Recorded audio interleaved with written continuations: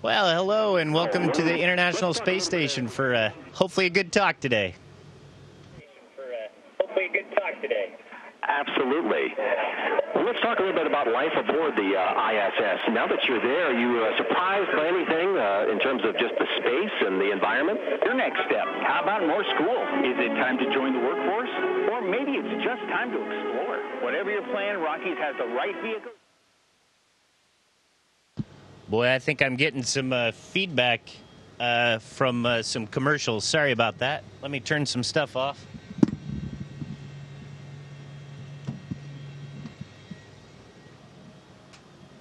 Can you still hear me?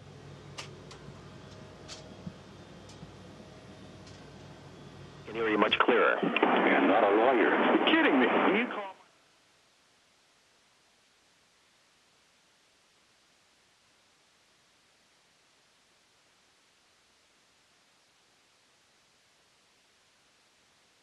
Let's try that again. I think we may have cleared up the uh, television commercials.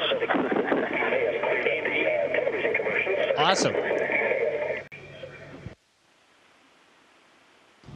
Well, we Yeah, don't get many you may be commercials up here, but so you know it's fun to hear them.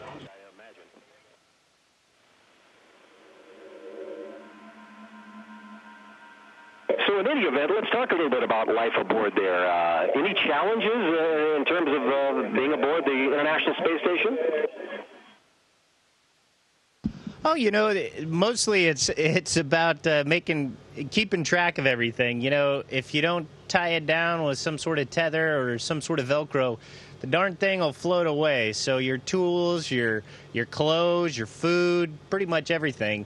Um, what you know, it's awesome because you get to see it floating, and that's just cool.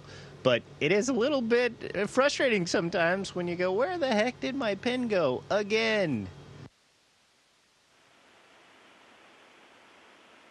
It it appears as though it may be a, a tad claustrophobic. What's the space like? Do you have time to for some private time to get away from the rest of the crew?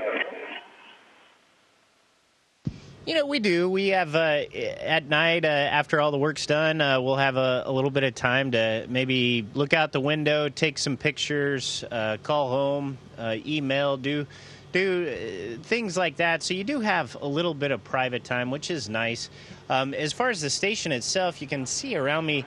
Um, the inside the station is is pretty large. It's about the size of a five bedroom house, and with only five of us up here, uh, after Friday, there's only going to be three of us up here for for almost two months. So it's a lot of room, and you don't really get too claustrophobic. The going up and down on the Soyuz, that's that's a pretty tight fit, but uh, it doesn't last that long, so it's not so bad.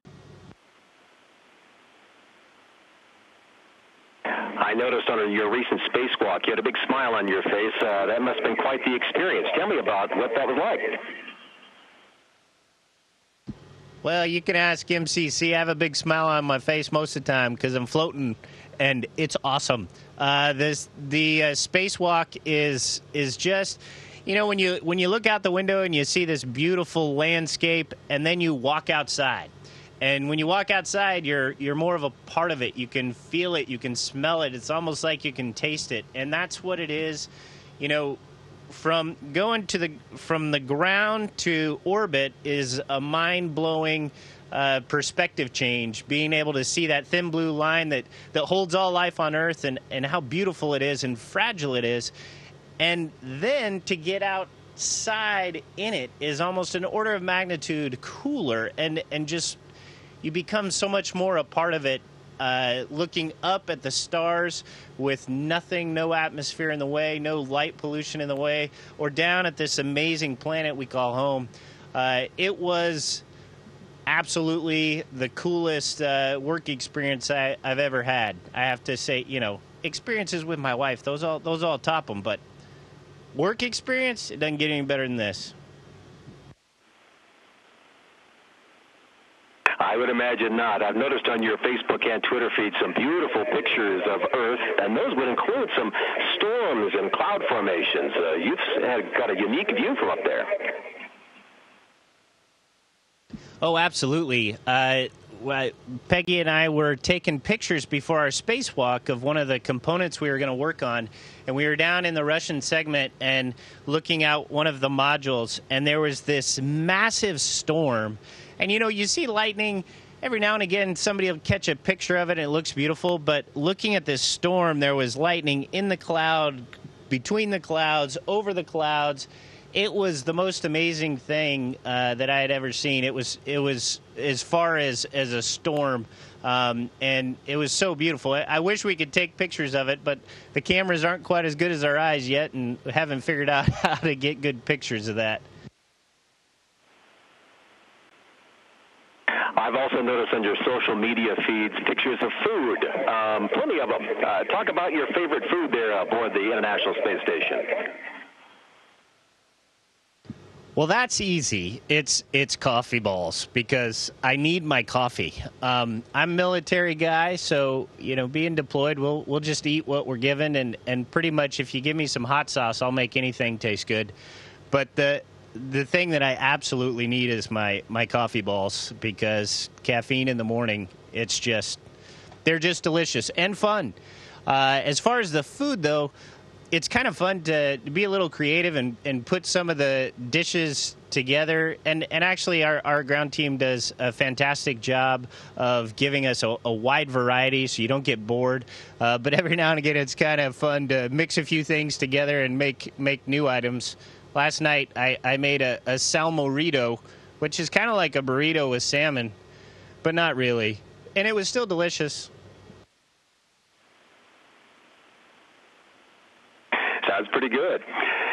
Down here on Earth, the headlines are filled with talk of the Russian investigation into the election uh, these last several months.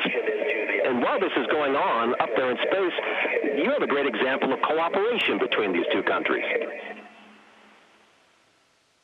Oh, absolutely. I've said it before, I'll say it till I die. The International Space Station is the best example of international cooperation in the history of humanity. We had 15 countries come together and make this incredible floating laboratory. Uh, we work together every day, training crews and getting them ready to come up here and work as one team. Um, my uh, my commander, uh, Soyuz commander Fyodor Yurchikhin, and I uh, had a patch based on the Apollo Soyuz uh, patch, which we then uh, added the words Adna Komanda, which is one team, because we are. We're one team working together to explore the universe. And if we are ever truly going to explore and, and uh, help help humanity take that next evolutionary step, we need to work together as one team. And we do it here every day. You have a myriad of experiments and research projects while you're on board the ISS. Uh, any favorites?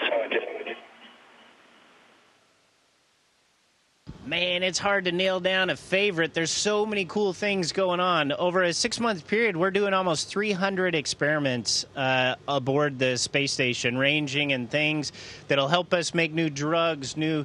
Uh, we we are growing protein crystals, uh, investigating viruses, genes, uh, bones. Uh, all sorts of physiology. Um, Peggy's in the other room right now uh, taken apart a, uh, NanoRacks CubeSat deployer. And over the last two weeks, we, we shot off 34 satellites doing all sorts of different things uh, using the Japanese module uh, airlock and robotic arm, and then this platform called NanoRacks. Uh, Thomas around the other corner um, doing a study on uh, vein uh, vascular health and, and what the effects in orbit are. So I mean, all day, every day is just a, a menagerie of, of interesting work and, and exciting investigations. Uh, we're we're all excited to be a part of this and, and whatever great discoveries come from the space station.